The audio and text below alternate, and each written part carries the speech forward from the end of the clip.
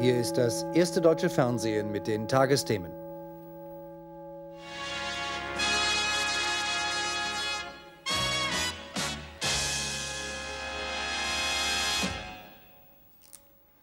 Das Brandenburger Tor heute Abend als Symbol für die Teilung Berlins hat es ausgedient. Ebenso die Mauer, die seit 28 Jahren Ost und West trennt.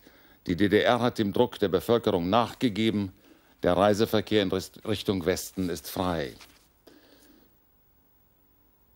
Guten Abend, meine Damen und Herren.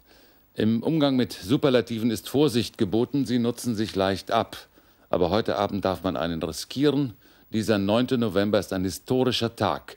Die DDR hat mitgeteilt, dass ihre Grenzen ab sofort für jedermann geöffnet sind. Die Tore in der Mauer stehen weit offen. Nirgends wohnen Ost- und Westdeutsche dichter beieinander als in Berlin. Von dort Robin Lautenbach. Gespanntes Warten hier am Innerberliner Grenzübergang Invalidenstraße. Journalistinnen und Neugierige hoffen, hier schon heute Abend den DDR-Bürger zu treffen, der als erster aufgrund der neuen Bestimmungen ausreisen darf und sei es auch nur, um am Kurfürstendamm ein Bier zu trinken. Doch bisher vergeblich. Reisende berichten, dass gleich nach Bekanntwerden der Meldung hier auf der anderen Seite DDR-Bürger anfragten, ob sie mit ihrem Personalausweis nach Westen könnten. DDR-Grenzer sollen ihnen gesagt haben, sie könnten morgen früh um 8 Uhr ihren Stempel abholen und erst dann reisen. Vor 28 Jahren und knapp drei Monaten wurde die Mauer erbaut. Sie wurde zum Symbol nicht nur der Teilung der Stadt und der Teilung Deutschlands, sondern sie wurde auch ein Symbol des Kalten Krieges. Spätestens seit heute Abend ist dieses Bauwerk nur noch ein Baudenkmal. Noch vor fünf Tagen, am letzten Sonnabend, hatten die DDR-Grenztruppen das Gebiet zwischen Brandenburger Tor und Friedrichstraße hermetisch abgeriegelt. Damit sollte verhindert werden, dass die Demonstranten vom Alexanderplatz zur Mauer zum Brandenburger Tor durchbrechen und hier über die Mauer klettern. Aber spätestens seitdem DDR-Bürger nur mit ihrem Personalausweis über die Tschechoslowakei nach Westdeutschland reisen konnten, war es klar, dass auch dieses Bauwerk hier quer durch Berlin und um Berlin herum keinen Bestand mehr haben würde. Bis 21.30 Uhr war es an den innerstädtischen Grenzübergängen ganz still. Lediglich einige Westberliner Fahrzeuge wurden abgefertigt. Bürger, die die DDR verlassen wollen, hieß es heute Abend, brauchen dafür ein Visum. Die zuständigen Abteilungen für Pass- und Meldewesen der Volkspolizei-Kreisämter würden aber unverzüglich Visa erteilen, ohne dass dafür noch geltende Voraussetzungen für eine ständige Ausreise vorliegen müssen. Für Besuche in Westberlin und in der Bundesrepublik müssen DDR-Bürger offensichtlich nur ihren Personalausweis vorlegen. Mit Besuchen in Westberlin kann man jetzt also jede Minute rechnen. Der regierende Bürgermeister Berlins Walter Momper appellierte heute Abend auch schon, dass niemand vor den bevorstehenden Problemen zurückschrecken solle. Wie wir 40 Jahre lang dagegen gekämpft haben, dass die, Trenn dass die Grenzen in Deutschland uns trennen. Wie wir immer wieder dafür plädiert haben, dass es Reisefreiheit geben muss, dass es Selbstbestimmung für die Deutschen in der DDR geben muss, so dürfen wir auch nicht verzagen vor der Größe der Aufgabe, die auf uns zukommt, in der Stunde, wo es da ist wir sind eben eine Großstadt und wir können nicht immer davon reden, dass wir die Metropole in der Mitte Europas sind und dann, wenn wir es wirklich wieder sind, weil wir normal mit unserem Umland, mit unserem Hinterland verbunden sind, in dem Moment sagen, oh, es wird so schwierig werden, so viele werden kommen, äh, der eine oder andere wird auch hier bleiben wollen, wie wollen wir die alle unterbringen.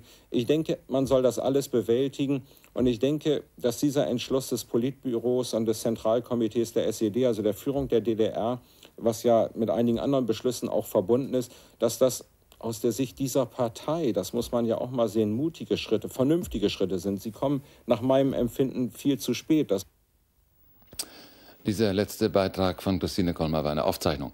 Wir wollen jetzt noch einmal nach Berlin gehen, dieses Mal live zum Grenzübergang Invalidenstraße zu meinem Kollegen Robin Lautenbach.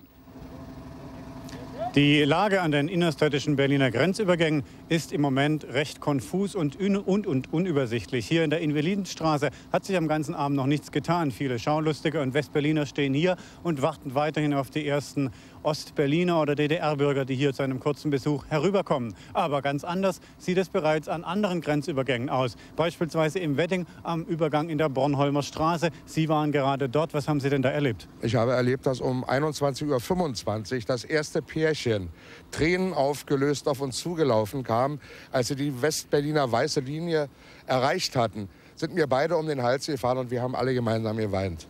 Mhm. Und Haben Sie noch andere Leute kommen sehen dann? Ich habe also eine Menge Leute kommen sehen. Angeblich haben dort etwa 1000 äh, Personen zu diesem Zeitpunkt gestanden und äh, wurden zurückgeschickt und sollten von der Volkspolizei sich Stempel holen. Das hat sich aber als nicht richtig erwiesen. Sie wurden zum Schluss ohne irgendwelche Querelen und ohne Komplikationen durchgelassen. Und es wurde ihnen auch zugesichert, dass sie jederzeit wieder zurückkommen könnten.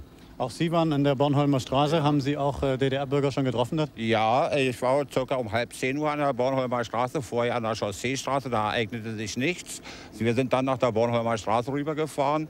Und wie wir ankamen, kamen die ersten DDR-Bürger mit Autos und zu Fuß über die Grenze gelaufen. Haben die Ihnen erzählt, äh, welche Formalitäten Sie dann noch erfüllen mussten? Ja, wir haben sie dann gefragt, welche Formalitäten. Und da haben uns gesagt, nur ein Stempel im Ausweis, haben uns auch den Ausweis gezeigt, den DDR-Ausweis. Und somit konnten sie fahren. Wir haben auch beobachtet, dass welche zurückgegangen sind, haben ihr Auto geholt und sind dann wieder zurückgekommen. Also die sind nur einmal kurz rübergekommen, um zu testen, ob es auch wirklich geht? Ja, ja.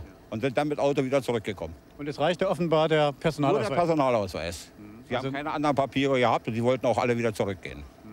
Haben Sie auch Leute dort getroffen? Ja, ich habe zum Beispiel ein Ehepaar getroffen, was auf der anderen Seite in der Bornholmer Straße wohnte. Und die Leute sagten, ach, wir werden mal zur anderen Seite der Bornholmer Straße gehen, ob die Hausnummern dort weiterzählen. Hier in der in ja. Am selben Tag wieder zurück. Gleich wieder zurück. Hier in der Invalidenstraße auf der anderen Seite haben die Grenzpolizisten offenbar diese Weisung noch nicht bekommen oder sie haben sie nicht verstanden. Hier werden bis, bis äh, zu diesem Zeitpunkt offenbar die Leute auf der östlichen Seite weiter zurückgeschickt. Sie werden vertröstet auf morgen 8 Uhr, dass sie sich dort ihren Stempel bei der Volkspolizei abholen können. Aber wie gesagt, an sehr vielen anderen Grenzübergängen, nicht nur in der Bornholmer Straße, wir haben es auch gehört von der Sonnenallee und vom Ausländergrenzübergang Checkpoint Charlie, äh, ist es offenbar bereits möglich, mit dieser neuen Regelung völlig komplikationslos nach Westberlin äh, zu kommen. Damit gebe ich zurück äh, zum Tagesthemenstudio. Robin Lautenbach live aus Westberlin. Aus Ostberlin hatten wir heute zunächst nicht mehr erwartet als einen Bericht über den zweiten Tag der Sitzung des Zentralkomitees der SED. Spannend genug und über die Reaktionen darauf. So ließ sich das auch an, bis dann gegen sieben Günter Schabowski im Politbüro der SED neuerdings zuständig für Information und Medienpolitik gegen Ende einer langen Pressekonferenz fast beiläufig einen Zettel aus der Tasche zog und verkündete, was inzwischen wohl die halbe Welt beschäftigt. Die DDR öffnet alle Grenzübergänge. Wer ausreisen will, der kann das ohne größere Formalitäten tun. So habe es die DDR-Regierung, die zwar zurückgetreten ist, aber bis, bis, zur Wahl einer neuen im Amt bleibt, heute Abend beschlossen. Über den Tag in Ostberlin, Erhard Thomas. In der Telefonzentrale des Senders Freies Berlin riefen heute Abend amerikanische Fernsehgesellschaften an, ob es denn wahr sei, dass gerade die Mauer eingerissen würde. So weit ist es noch nicht. Aber sie ist keine düstere Barriere mehr. Viele, viele Anrufe hatte ich, circa 150 innerhalb von 25 Minuten. Mein absoluter Rekord übrigens, habe ich noch nie gehabt. Und daher habe ich meine Kollegin angerufen, die ist dann hergekommen von zu Hause und hat mir dann geholfen. Die DDR-Bürger erfuhren die Neuigkeit um 19.34 Uhr aus der aktuellen Kamera. Über den heutigen Beratungstag informierte Günter Schabowski am Abend die internationale Presse. Dabei gab er auch einen Beschluss des Ministerrates zu neuen Reiseregelungen bekannt. Demzufolge können Privatreisen nach dem Ausland ab sofort ohne besondere Anlässe beantragt werden. Die Bestimmung gilt bis zum Inkrafttreten einer entsprechenden gesetzlichen Regelung der Volkskammer. Kein Umweg mehr also über Ungarn oder die Tschechoslowakei. DDR-Bürger können ab sofort alle Grenzübergänge nach Westen und nach West-Berlin nutzen. Völlig ungeklärt aber ist, wie auch bei dem geplanten endgültigen Reisegesetz, die Frage der Devisen. Reisewillige brauchen nun mal D-Mark oder Dollars und die sind in der DDR rar. Grenzübergangs auf seiner Pressekonferenz heute Abend zeigte sich sogar Günter Schabowski von dem schnellen Beschluss des Ministerrats überrascht. Bitte? Ab sofort. Ab. Also Genossen, mir ist hier also mitgeteilt worden, dass eine solche Mitteilung heute schon äh, verbreitet worden ist. Sie müsste eigentlich in Ihrem Besitz sein.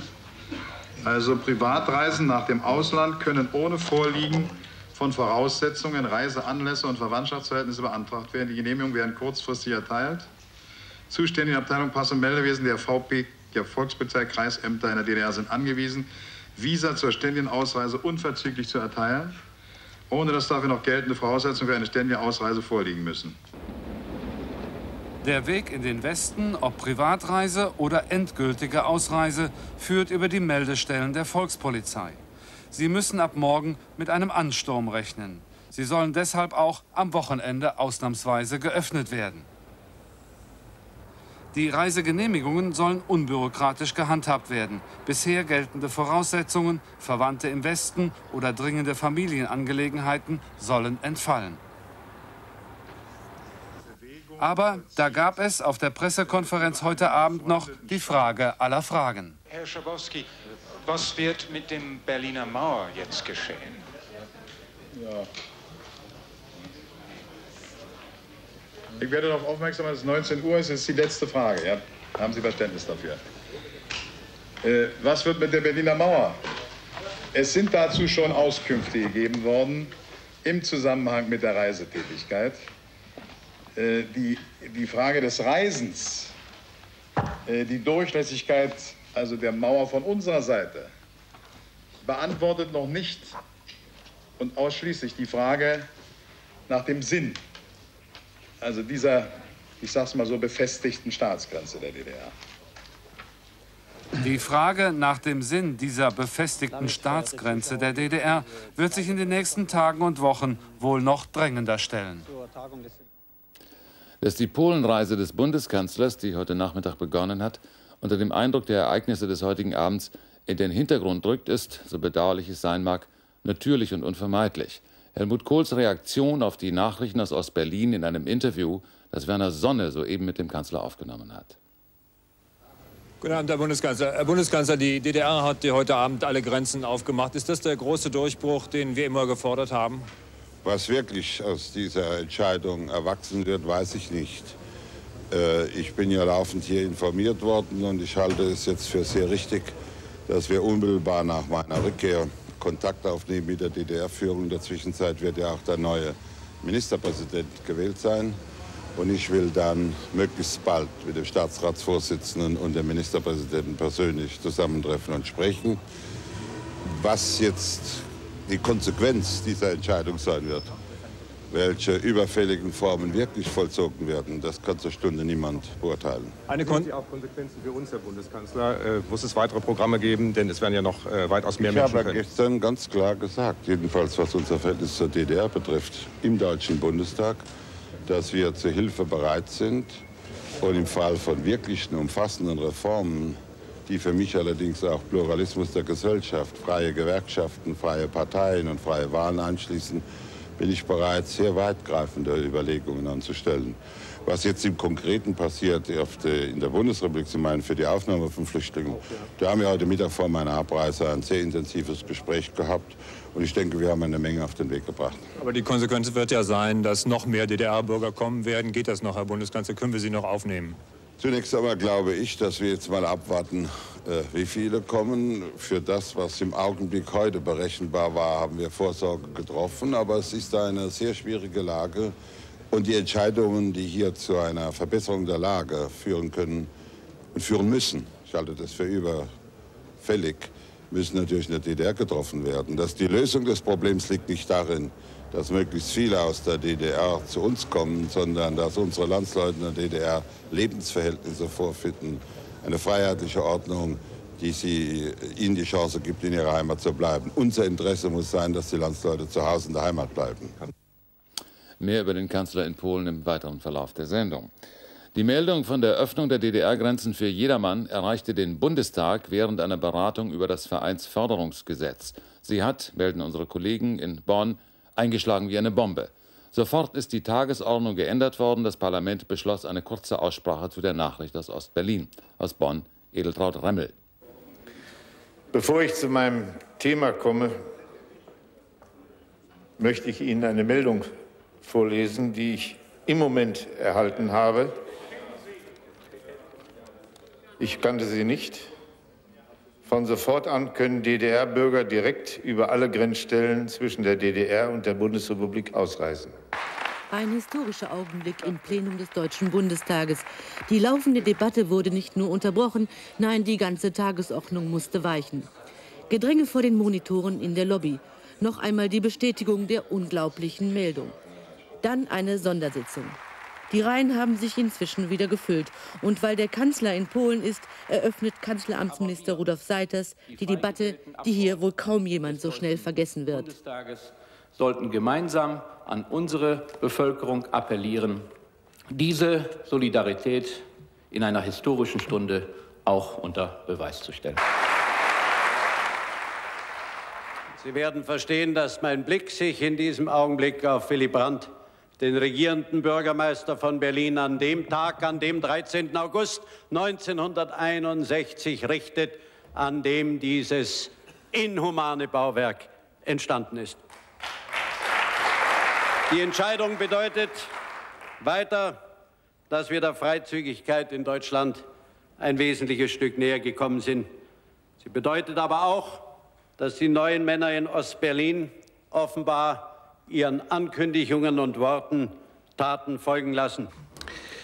Wir empfinden, dass die Geschichte einen so schnellen Gang nimmt, dass schon die Debatte von gestern, heute unter ganz anderen Aspekten geführt werden würde.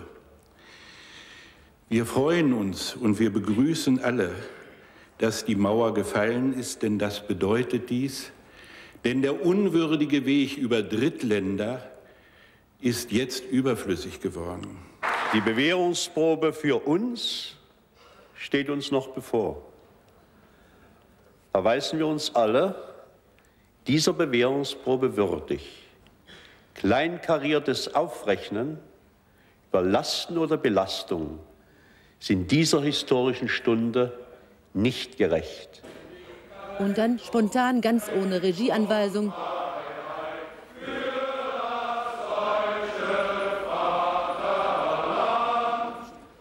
Ein Stück Geschichte. Für Willy Brandt ein Stück verwirklichter Traum. Zu allem, was an diesem Tag im deutsch-deutschen Verhältnis geschehen ist, ein Kommentar. Es spricht Günter von Lojewski vom Sender Freies Berlin. Das Gebäude DDR war längst baufällig. Nun fallen die Mauern, zurück bleibt eine Ruine. Ob da für die Menschen noch ein Halten sein wird? Die SED jedenfalls hat die Zeichen der Zeit allzu lange verkannt. Mit Erich Honecker hat sie bis zuletzt geglaubt, Michael Gorbatschow, seiner Perestroika und Glasnost widerstehen zu können. Auch Egon Krenz hat den Menschen noch Grundrechte vorenthalten wollen, das Recht auf freie Meinungsäußerung, das Grundrecht ein, uneingeschränkt zu reisen, das Recht auf freie Wahlen, das einen Führungsanspruch einer Staatspartei ausschließt. Auch im neuen Politbüro, so scheint es, sitzt noch mancher, der daran gerne festhalten möchte. Aber die Freiheit, so lehrt die Geschichte, ist nicht teilbar und sie ist erst recht Menschen nicht mehr vorzuenthalten, die sie kennen, kennengelernt haben. Und sei es aus den elektronischen Medien, die vor Grenzen nicht mehr Halt machen. So wenig wie Menschen noch an die Überlegenheit des sozialistischen Systems glauben können, wenn sie gleichzeitig mit eigenen Augen sehen, wie unter marktwirtschaftlichen Vorzeichen der Wohlstand von Jahr zu Jahr wächst, wie die Geschäfte immer voller sind, die Straßen immer breiter werden, die Autos immer mehr. Die Menschen in der DDR haben ihren Führern zuletzt nicht mehr geglaubt. Sie haben es selbst besser gewusst, sie haben sich erhoben, machtvoll, friedvoll, soeben geht alle Macht vom Volke aus. Schon einmal war der 9. November für die Deutschen ein historischer Tag.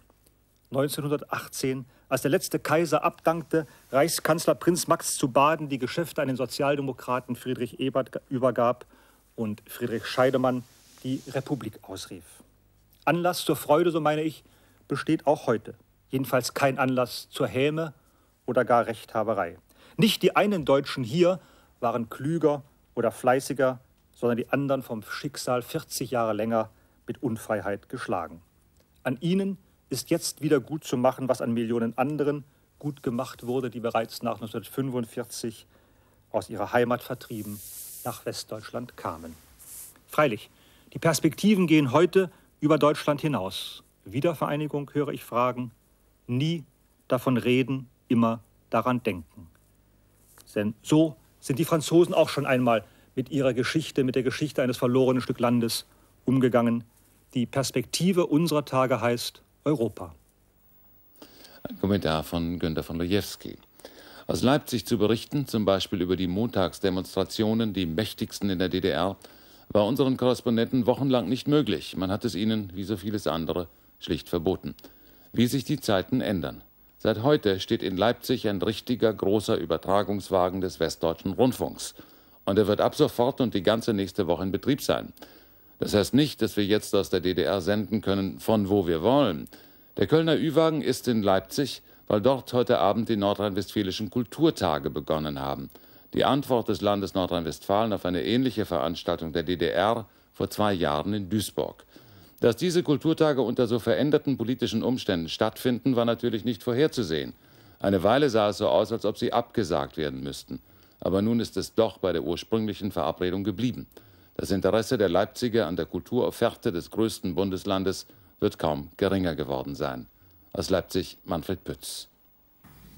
19 Uhr heute Abend in der Leipziger Oper.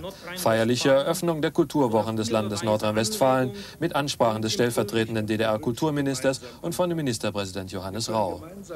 Bereits im Vorfeld hatte es erheblichen politischen Wirbel gegeben. Noch von Honecker veranlasst, wurden die Kulturwochen zunächst abgesagt, dann wenige Tage später gab Egon Krenz wieder grünes Licht.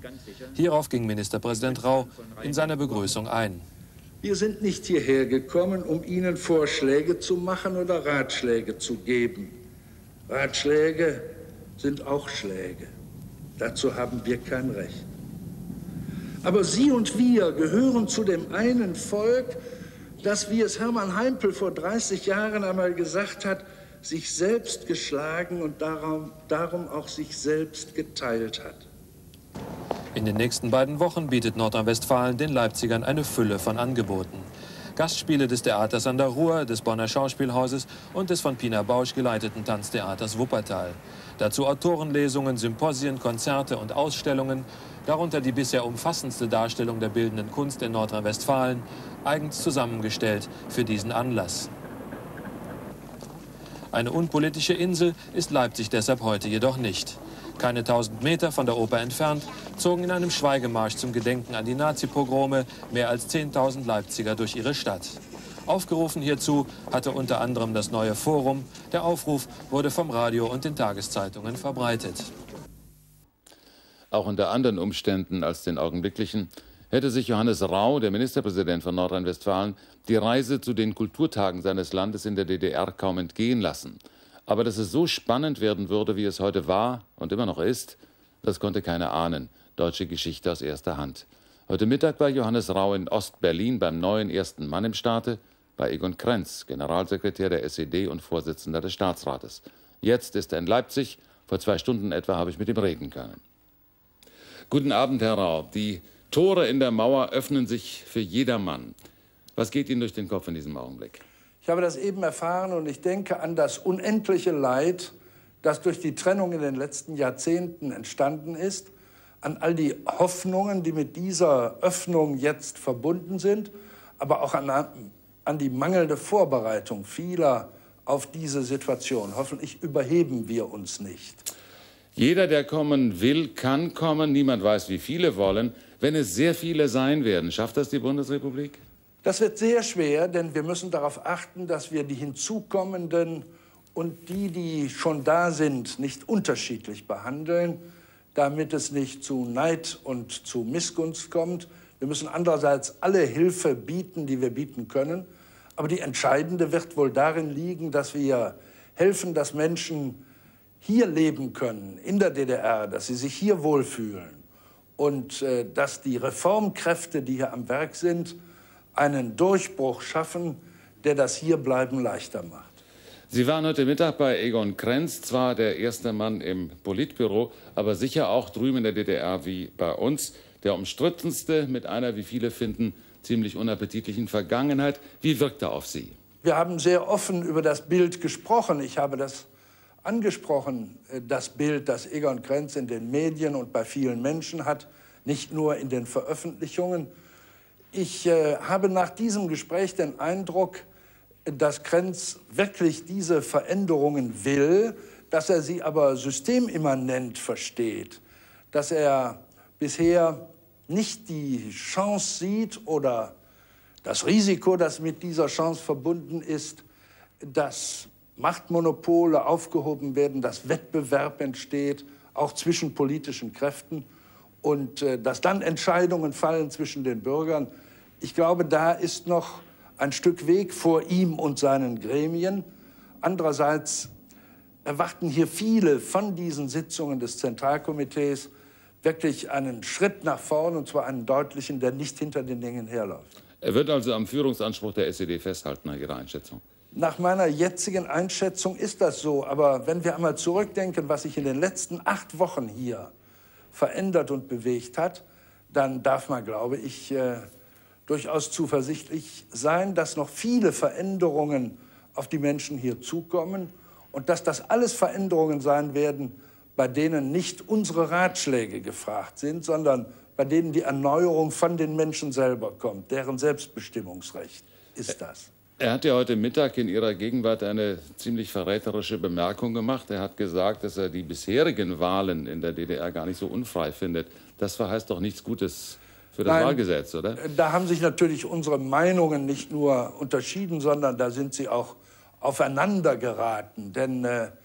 es kommt ja nicht nur darauf an, ob es äh, freie Wahlen in dem Sinne gibt, in dem wir das bisher erlebt haben, sondern zu den freien Wahlen gehört, dass nicht eine Partei und nicht eine Ideologie entscheidet, wer kandidiert und wer gewählt werden kann. Das heißt, Pluralismus, politischer und gewerkschaftlicher Pluralismus ist nötig und dafür gibt es inzwischen hier eine Fülle von eindrucksvollen Formen.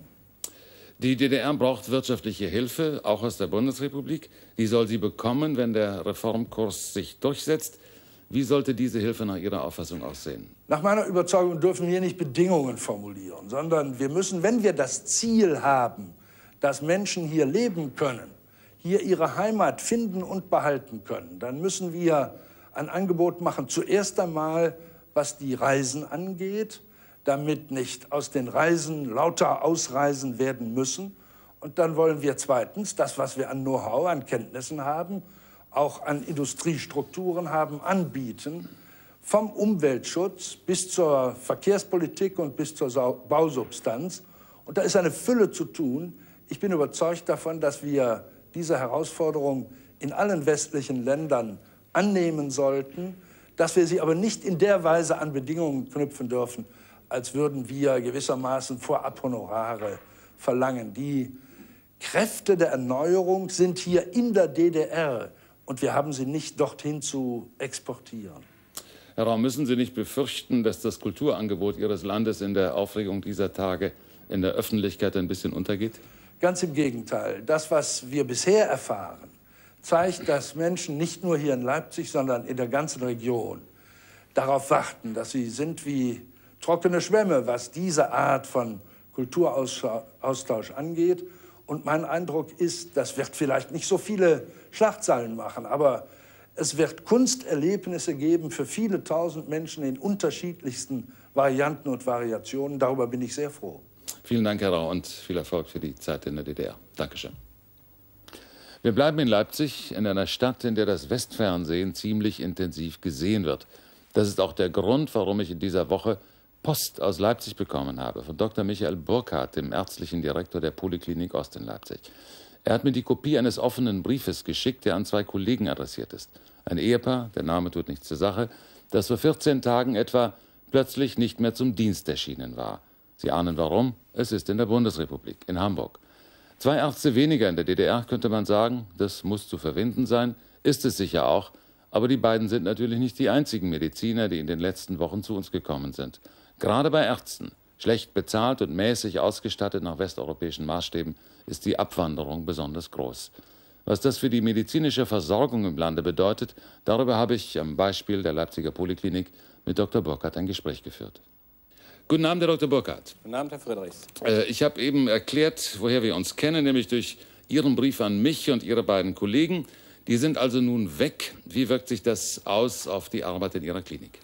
Ich muss dazu äh, zunächst erklären, zum Verständnis der Zuhörer bzw. Fernsehzuschauer in der Bundesrepublik, dass eine Poliklinik eine Bündelung der ambulanten medizinischen Betreuung ist. Das kennen Sie so nicht. Das heißt also, alles, was ambulant medizinisch geleistet wird, ist in dieser Einrichtung äh, vorhanden. Wir sind 300 Mitarbeiter in 26 Fachabteilungen, davon 60 Ärzte. Äh, diese, es ist nun letztlich so, dass in, der, in die Bundesrepublik innerhalb der letzten zwölf Monate insgesamt 17 meiner Mitarbeiter schon gegangen sind, davon alleine acht Ärzte. Weitere acht Mitarbeiter haben innerhalb der letzten drei Monate den Antrag auf Ausreise in die Bundesrepublik gestellt. Es ist ganz einfach erklärbar. Wir haben Ärzte nicht im Überschuss ausgebildet. Wir haben keine Ersatzleute. Die medizinische Betreuung ist in ihrer Qualität erheblich gestört, wenn nicht gar in manchen Bereichen eingeschränkt. Was hätten Sie denn getan, wenn Sie von der Ausreise der beiden Ärzte vorher erfahren hätten? Ich hätte nichts tun können, denn ich hätte Ihnen bei den gegebenen politischen Bedingungen auch nicht mehr versprechen können. Die Bezahlung ist nicht gut. Wir haben in der Zeitung gelesen, gerade bei uns in der DDR, ein Facharzt für Kinderheilkunde, 25 Dienstjahre mit allen Diensten, verdient nur 250 Mark mehr wie ein Werftarbeiter in Rostock. Das heißt, der also acht Klassen absolviert hat, Teilfacharbeiter oder was auch immer. Das heißt, ich hätte ihm nicht mehr Geld versprechen können, ich hätte ihm noch nicht einmal die Wohnung versprechen können, die er hätte haben wollen und wegen derer ich vielleicht vorher schon vier Monate lang Bittgesuche an mein übergeordnetes Organ gerichtet habe. Äh, gibt es denn nun Patienten, die Sie nicht mehr versorgen können, weil Ihnen so viele Ärzte abhandengekommen sind? Ich muss zunächst einmal noch erklären, dass die medizinische Betreuung im Notfall unverändert gesichert werden kann dass es aber erhebliche Einschränkungen gerade im pflegerischen Bereich gibt. Und vor allem möchte ich hier nennen, was uns ja eigentlich alle sehr nahe gehen sollte, die Pflegeheime. Hier ist die Versorgung nicht mehr in guter Qualität gesichert. Es gibt verschiedene andere Bereiche, wie hier zum Beispiel in Leipzig im Bezirkskrankenhaus St. Georg, die Dialyse in einem großen Bezirkskrankenhaus. Hier sind nicht mehr drei bzw. vier Mediziner, sondern nur noch einer und der rund um die Uhr tätig. Nun sind ja Ärzte, auch wenn sie sich manchmal nicht so geben, auch nur Menschen, wie alle anderen. Warum sollten gerade Ärzte nicht auch ein anderes und aus Ihrer Sicht vermutlich besseres Leben suchen dürfen? Das ist natürlich eine richtige Frage. Und ich muss sagen, hier vertrete ich als Liberaldemokrat selbstverständlich die Meinung, jeder hat das Recht auf Wahl seines Wohnsitzes, wo auch immer. Allerdings muss ich unterstellen, wir Ärzte haben einen Berufseid geleistet und dieser Berufseid verpflichtet uns in irgendeiner Weise, unsere Patienten zu betreuen. Wer also geht und wie dies ja in diesem Fall dieses Ehepaar gemacht hat, von heute auf morgen und die Versorgung der Patienten in keiner Weise gesichert hat, also die Patienten unversorgt zurückblieben, und da gibt es ja noch sehr viel drastischere Beispiele in unserer Stadt oder auch in unserem Lande, das muss ich verurteilen. Denn wir haben einen hippokratischen Eid oder wir haben einen Berufseid geleistet, der verpflichtet uns, unsere Patienten zu betreuen. Sicher kann ich meinen Wohnsitz wählen, aber unter Einschränkungen. Ich muss das vielleicht auch doch dann mal nicht zu so sehr egoistisch sehen. Sie sind in der LDPD, haben Sie eben gesagt, und für diese Partei sitzen Sie als äh, Stadtverordneter im Rat der Stadt in Leipzig. Also in einer Stadt, in der seit Wochen jeden Montag für eine andere, mutmaßlich bessere DDR demonstriert worden ist. Waren Sie eigentlich mal dabei? Selbstverständlich. Äh, das ist eine Kultur in der Stadt Leipzig geworden. Die Bewegung ist von der Stadt Leipzig ausgegangen. Und ich muss sagen, ich bin seit dem 9.10. an jedem Montag da, aus folgendem Grund. Vor dem 9.10. fand eine Kriminalisierung der Demonstranten statt. Es wurde erklärt, dass die Demonstranten asoziale Elemente seien oder antisozialistische Kräfte. Wir mussten um unser unsere Stadt, um den Frieden in unserer Stadt fürchten. Und da war es meine Pflicht gewesen, als Volksvertreter und als Arzt in die Stadt zu gehen, um vielleicht dem Steinewerfer die Hand festzuhalten oder auch den Polizisten zu fragen, warum er zuschlagen möchte. Dass es nicht dazu gekommen ist, ich möchte sagen, das ist vor allem das Verdienst der besonnenen Demonstranten. Ich bin jeden Montag dabei und ich passe auch auf, dass äh, hier kulturvoll demonstriert wird. Es wird so lange demonstriert, bis sich tatsächlich etwas geändert hat. Vielen Dank, Herr Dr. Burkhardt. Vielen Dank auch den Kollegen in Leipzig. Dankeschön. Danke.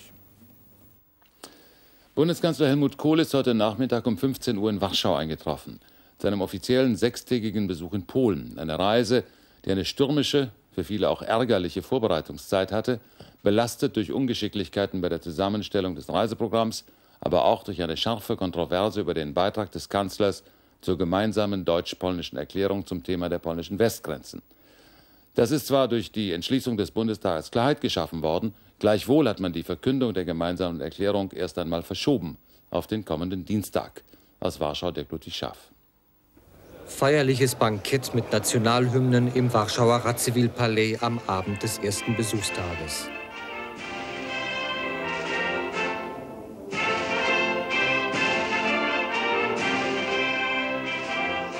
Premierminister und Bundeskanzler bekräftigten ihre Absicht, einen Durchbruch in den beiderseitigen Beziehungen zu erreichen.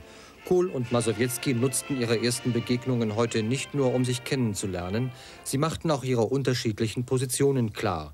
Premierminister Masowiecki bat nachdrücklich um eine Entschädigung der Nazi-Opfer.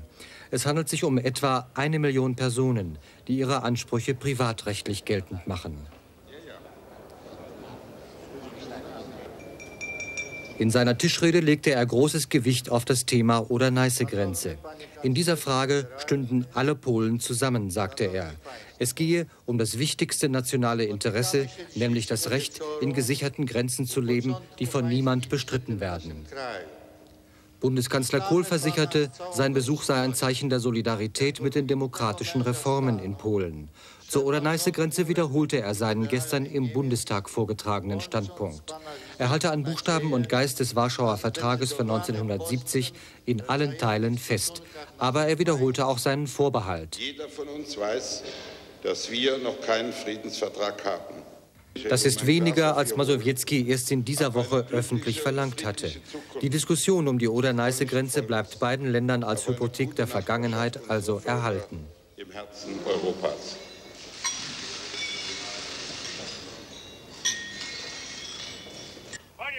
Am Nachmittag hatte der Premierminister den Bundeskanzler auf dem Flughafen mit militärischen Ehren empfangen. Bis zum letzten Moment herrschte Durcheinander wegen des Besuchsprogramms.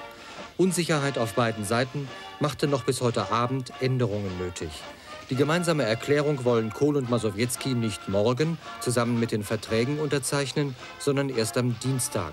Wie es heißt, wird noch an einem Abschnitt gearbeitet, der dem gemeinsamen Besuch in Kreisau betrifft. Der Versöhnungscharakter dieser Geste soll besonders hervorgehoben werden. Großes Gewicht hat bei diesem Besuch die künftige wirtschaftliche Zusammenarbeit. Dazu wurde eine ganze Serie von Verträgen vorbereitet. Am frühen Abend empfing der Kanzler in seiner Residenz Solidarność-Chef Walonsa. Er setzt sich mit Nachdruck für mehr deutsche Investitionen in Polen ein. Bis jetzt haben seine Vorschläge, die er bei seinem Besuch in der Bundesrepublik gemacht hatte, keine großen Erfolge gezeigt. Valonsa äußerte die Hoffnung, dass von diesem Treffen neue Impulse ausgehen. In Kohls Begleitung sind zahlreiche Vertreter der deutschen Wirtschaft. Die beiden Außenminister, Genscher und Skubiszewski, unterzeichneten am Abend Protokolle über künftige regelmäßige Konsultationen und über die Einrichtung von Konsulaten in Hamburg und Krakau. Der polnische Außenminister dankte Genscher für seine Haltung zur Oder-Neiße-Grenze. Er zeigte sich beeindruckt von der breiten Zustimmung im Bundestag zu der gestrigen Entschließung. Das sei ein erheblicher Schritt nach vorn in den Beziehungen beider Länder. In den Nachrichten erste Reaktionen aus Moskau zu Entwicklungen in Ostberlin. Jan Hofer. Kreml gelassen. In einer ersten Stellungnahme zur Entwicklung in der DDR hat die Sowjetunion heute die Veränderungen begrüßt. Die Regierungen könnten wechseln, aber die DDR dürfe den Warschauer Pakt nicht verlassen, solange die Bundesrepublik Mitglied der NATO sei. Rücktritt in China. Deng Xiaoping, der führende Politiker der Volksrepublik, ist heute von seinem letzten hohen Amt in der Kommunistischen Partei Chinas zurückgetreten. KP-Chef Jiang Zemin, hier rechts im Bild, wurde sein Nachfolger als Vorsitzender der Zentralen Militärkommission und damit faktisch der Oberbefehlshaber der chinesischen Streitkräfte. Der 85-jährige Deng hat sich damit endgültig aus allen Spitzenpositionen in Staat und Partei zurückgezogen. Aber auch ohne Ämter gilt er weiterhin als mächtigster Mann Chinas. Vorsprung der Fundamentalisten. Bei den gestrigen Parlamentswahlen in Jordanien haben islamische Fundamentalisten nach dem bisherigen Stand der Auszählung deutliche Stimmengewinne erzielt. Sie errangen ein Drittel der Mandate.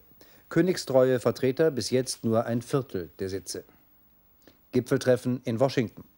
Die philippinische Präsidentin Aquino und US-Präsident Bush erörterten die Ausweitung der Handelsbeziehungen zwischen ihren Ländern und die Zukunft des US-Luft- und Marinestützpunktes bei Manila. Offizielle Verhandlungen darüber sollen im Dezember aufgenommen werden. Rentenreform verabschiedet. Mit großer Mehrheit hat der Bundestag die geplante Neuordnung der Rentenfinanzen gebilligt.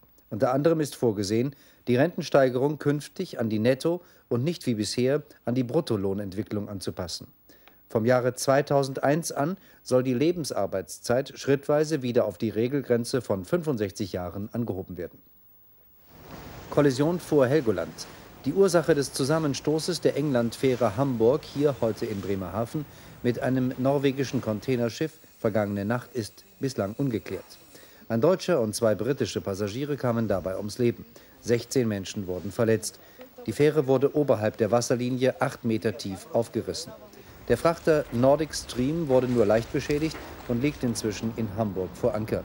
Die Leitzentrale hatte beide Schiffe auf ihren Kollisionskurs hingewiesen. In den heutigen Achtelfinalspielen um den DFB-Pokal schlug der VfB Stuttgart Bayern München mit 3 zu 0. Der erste FC Kaiserslautern bezwang den ersten FC Köln mit 2 zu 1. Wir gehen jetzt noch einmal live zur deutsch-deutschen Grenze, diesmal nach Niedersachsen zum Grenzübergang Gudow. Von dort meldet sich Thomas Kühn. Ja, der mögliche große Ansturm, der ist bis hier noch nicht geschehen. Das mag auch darin liegen, dass man natürlich für die Einreise hier in die Bundesrepublik einen Pass und ein Visum braucht. Hier neben mir stehen allerdings zwei, drei, die es trotzdem geschafft haben. Ich frage mal, haben Sie denn Pass und Visum heute Abend noch bekommen? Nein, haben wir nicht. Wir haben das im Fernsehen gehört und da habe ich das Auto voll getankt und bin hergefahren. Einfach mit dem Personalausweis und dran gefahren an, die, an den ersten Grenzposten. Da habe ich die anderen die Familie mitgenommen, weil deren Freund umgedreht ist und dann sind wir mit dem Personalausweis reingefahren in die Grenzkontrolle. Die haben uns zwar mit Aufenthalt und Kontrollen und durchgelassen. Ja, nochmal, aber Entschuldigung, haben Sie denn nicht irgendwie einen Pass, ein Visum? ADN hat nämlich gemeldet, nur so kann man dann ausreisen. Ja, ADN hat das so gemeldet, aber vielleicht haben wir es nicht richtig verstanden. Ich habe das so aufgefasst, dass ich mit Personalausweis fahren kann, fahren kann, durchfahren kann durch die Grenze. Und dann bin ich losgefahren. Da gab, also ich habe in dem Moment nicht an ein Visa oder so gedacht. Ich habe wirklich bloß einen Personalausweis hier, Personalausweis mitgenommen und bin durchgekommen. War denn auf den Straßen was los? Nö. Ich bin ziemlich alleine gefahren, nur Transitfahrzeuge eben, Bundesrepublik.